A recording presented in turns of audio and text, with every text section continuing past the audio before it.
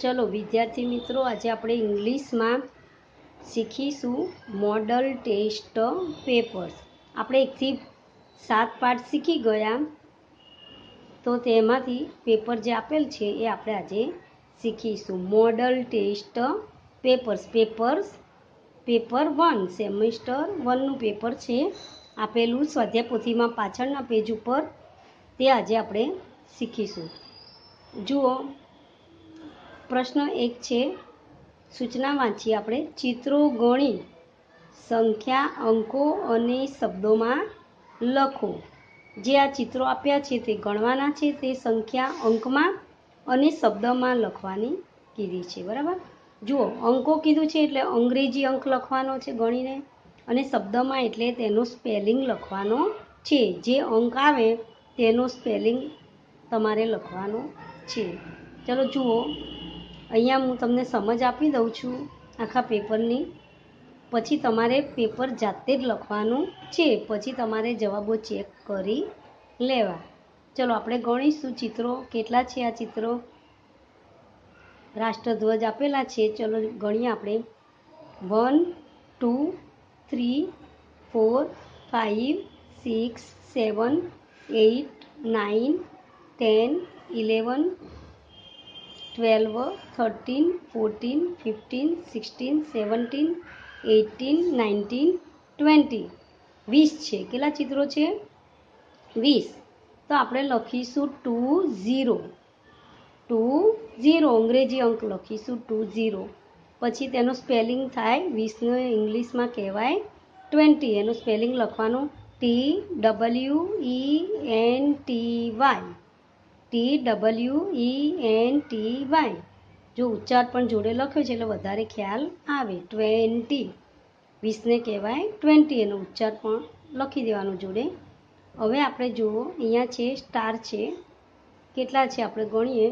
One two three four five six seven eight nine ten eleven twelve બાર છે. કેટલા છે આ? સ્ટાર બાર. તો આપણે અંગ્રેજી અંક લખવાનો છે. અંગ્રેજી અંકમાં વન, ટુ. બાર એટલે વન, ટુ. બારને ઇંગ્લિશમાં કહેવાય ટ્વેલ્વ. તો એનું સ્પેલિંગ આપણે લખવાનું છે. જુઓ. T W E L V E T W E L V E તમારે અગિયારથી વીસના સ્પેલિંગ પહેલાં મોઢે કરી દેવાનો, પછી પેપર તમારે એમાં જવાબ લખવાના છે તમારે.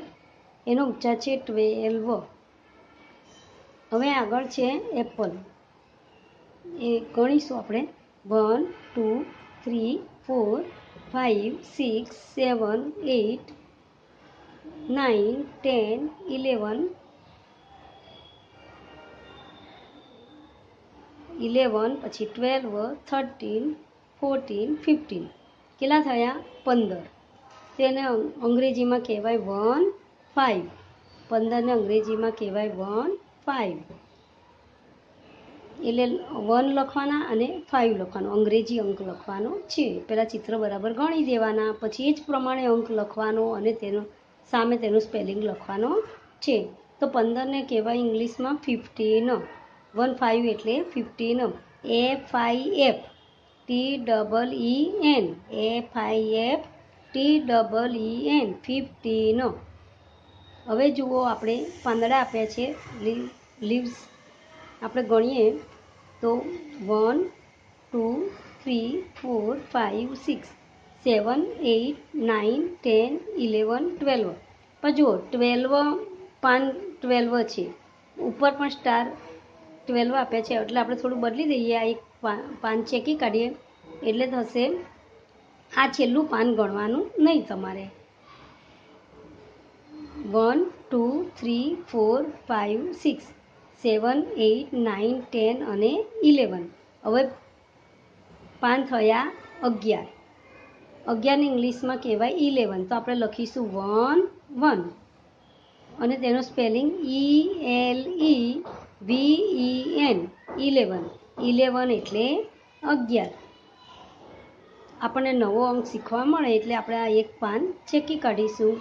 તો ઇલેવન થશે પાન. હવે છે બલૂન. ગણીએ આપણે. One two three four five six seven eight nine ten eleven twelve thirteen એટલે તેર. કેટલા છે બલૂન? તેર. બલૂન એટલે ફુગ્ગા. તો અંગ્રેજી અંક લખીશું તેનો. વન થ્રી તેર લખીશું. અંગ્રેજીમાં અંકમાં તેર લખીશું. વન અને થ્રી. સ્પેલિંગ તેનું T H I R, T double E N. T H I R, T double E N. થર્ટીનો. એનો ઉચ્ચાર થર્ટીનો. ચલો હવે પ્રશ્ન બે જોઈએ આપણે. સૂચના વાંચીએ. ફળોના નામ લખો. ફળોના નામ. નામ એટલે આપણે અંગ્રેજીમાં તેનું સ્પેલિંગ લખવાનો છે. ચિત્ર આપેલા છે નીચે. જે ચિત્રને ઓળખીને તમારે એ ફળનું નામ અંગ્રેજીમાં નીચે લખવાનું છે. કૌંસમાં સ્પેલિંગ આપેલા છે. સાચું સ્પેલિંગ શોધીને તમારે લખવાનું છે. જો સ્પેલિંગ તમે તૈયાર કરેલા હશે, તો તમે સાચો સ્પેલિંગ લખી શકશો. શોધીને એટલે પહેલાં સ્પેલિંગ તૈયાર કરી દેવાના, ફળોના મોઢે કરી દેવાના. પછી તમારે આને આમાં જવાબ મોઢે લખવાના છે. જાતે ચલો, આ છે કેળાનું ચિત્ર. કેળાને ઇંગ્લિશમાં કહેવાય બનાના. તો જુઓ, આપણે કૌંસમાં નામ આપ્યા છે, તેમાંથી શોધી કાઢીશું. તો આ રહ્યો બનાનાનો સ્પેલિંગ. એ જોઈને આપણે નીચે લખી દેવાનું છે. ઇંગ્લિશમાં કેળાને કહેવાય બનાના. તો એનો સ્પેલિંગ જુઓ. B A N A N A B A N A N A banana. તેનો ઉચ્ચાર શું થાય? બનાના. હવે જુઓ બીજું ચિત્ર દ્રાક્ષનું છે. દ્રાક્ષને ઇંગ્લિશમાં કહેવાય ગ્રેપ્સ. તો આપણે કૌંસમાંથી શોધી કાઢીશું. જુઓ, છેલ્લો સ્પેલિંગ છે દ્રાક્ષનો. ગ્રેપ્સ. તો ત્યાંથી જોઈને અહીંયા સ્પેલિંગ લખી દઈશું. જુઓ spelling G R A P E S દ્રાક્ષને ઇંગ્લિશમાં કહેવાય ગ્રેપ્સ. સ્પેલિંગ તેનું જી R A P E S હવે આગળનું ચિત્ર જુઓ. સફરજનનું છે. સફરજનને ઇંગ્લિશમાં કહેવાય એપલ. તો જુઓ, પહેલો સ્પેલિંગ છે, આપેલો છે એ એપલનો. તો આપણે ત્યાંથી જોઈને અહીંયા લખી કાઢીશું. A double P L E, apple. એપલનો spelling A double P L E, apple એટલે સફરજન. ચલો, આગળના ચિત્રો જોઈએ.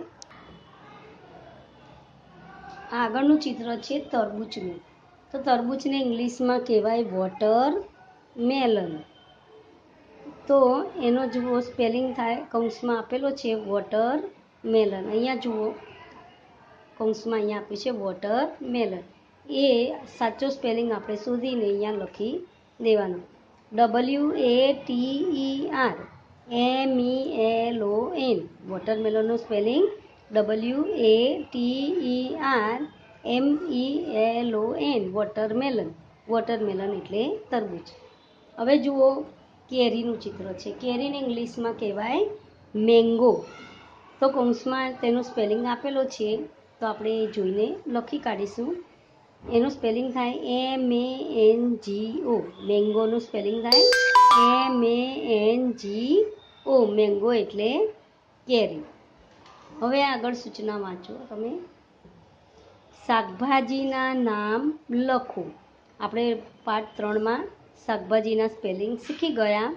તો એ સ્પેલિંગો તમારે મોઢે કરી દેવાના બધા, બરાબર? સ્પેલિંગ ઉચ્ચાર અને અર્થ સાથે. પછી આપણે પેપરમાં જવાબ તમારે મોઢે લખવાના છે. બરાબર? જુઓ. અહીંયા કૌંસમાં નામ આપ્યા જ છે એના. એટલે એમાંથી જોઈને તમારે સાચો સ્પેલિંગ લખવાનું છે. જો પહેલું ચિત્ર છે ડુંગળીનું. ડુંગળીને ઇંગ્લિશમાં કહેવાય અન્યનો તો તેનો સ્પેલિંગ જુઓ, અહીંયા આપેલો છે O N I O N તો એ જોઈને લખી કાઢીશું. O N I O N અન્યન અન્યન એટલે ડુંગળી. હવે બીજું ચિત્ર જુઓ, લીંબુનું છે. લીંબુને ઇંગ્લિશમાં કહેવાય લેમન. એનો સ્પેલિંગ અહીંયા આપેલું છે, જુઓ. L E M O N L E M O N lemon એટલે લીંબુ તો આપણે ત્યાંથી જોઈને સ્પેલિંગ નથી કાઢવાનું. L E M O N lemon એટલે લીંબુ. આ ચિત્ર છે મૂળાનું. મૂળાને ઇંગ્લિશમાં કહેવાય રેડિશ તો જુઓ, કૌંસમાં પહેલો સ્પેલિંગ આપેલો છે. R A D I S H તો ત્યાંથી જોઈને અહીંયા સ્પેલિંગ લખી દેવાનું. R A D I S H આ રીતે સ્પેલિંગ લખી દેવાનું. રેડિસ રેડિસ એટલે મૂળો. હવે જુઓ આ ચિત્ર છે ભીંડાનું. તો ભીંડાને ઇંગ્લિશમાં કહેવાય લેડીઝ ફિંગર. તો જુઓ, એનો સ્પેલિંગ અહીંયા આપેલો છે. L A D Y S F I N G E R ladies finger. ભીંડાને ઇંગ્લિશમાં બોલાય લેડીઝ. જબલાન જવ, બરાબર? Ladies finger. તો ત્યાંથી આ ઉપરથી જોઈને સ્પેલિંગ લખી કાઢવાનું. L A D Y S F I N G E R, ladies finger. આ ચિત્ર છે રીંગણનું. તો રીંગણને ઇંગ્લિશમાં કહેવાય બ્રિંજલ. જો બીજા નંબરમાં સેકન્ડ નંબરમાં આપ્યો છે સ્પેલિંગ તેનો બી R I N J A L એટલે અહીંથી જોઈને અહીંયા સ્પેલિંગ લખી દેવાનું. બી R I N J A L B R I N J A L brinjal એટલે રીંગણ. હવે પ્રશ્ન ત્રણ જોઈએ, સૂચના વાંચીએ. પક્ષી કે પ્રાણીઓના બચ્ચાના નામ લખો. આપણે પાઠ ચારમાં શીખી ગયા પક્ષી અને પ્રાણીના બચ્ચાના નામ. નામ એટલે આપણે અંગ્રેજી સ્પેલિંગ જ તેનો લખવાનો છે. તો પહેલું ચિત્ર જુઓ. ઘેટાનું બચ્ચું છે. શેનું ચિત્ર છે? ઘેટાના બચ્ચાનું. તો તેને ઇંગ્લિશમાં કહેવાય લેમ. ઘેટાના બચ્ચાને ઇંગ્લિશમાં કહેવાય લેમ તો એનું સ્પેલિંગ આપણે કૌંસમાંથી શોધીને લખી દેવાના બધાના મિક્સ ભેગા જ સ્પેલિંગ આપેલા છે. સાચો સ્પેલિંગ શોધીને લખી દેવાનો છે. તો એલ એ એમ, બી, ઘેટાના બચ્ચાને કહેવાય. એલ એ એમ, બી લેમ તો આપણે સાચ સ્પેલિંગ શોધીને અહીંયા એની નીચે લખી દઈશું, સાચો સ્પેલિંગ એલ એ એમ, બી, લેમ એટલે ઘેટાનું બચ્ચું. હવે જુઓ આ બીજું ચિત્ર છે એ બતકનું બચ્ચું છે. તો બતકના બચ્ચાને ઇંગ્લિશમાં કહેવાય ડકલિંગ.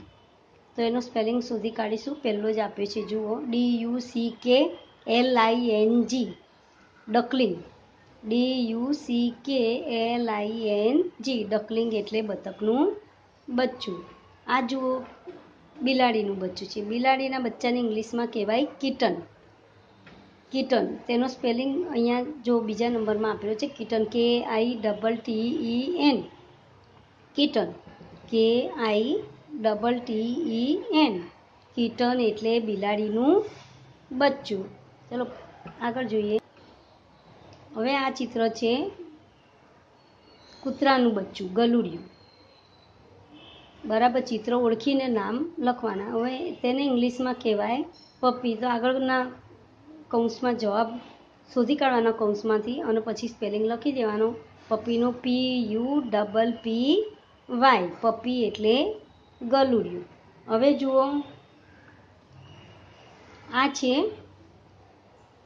મરઘીનું બચ્ચું. મરઘીના બચ્ચાને ઇંગ્લિશમાં કહેવાય ચિકન.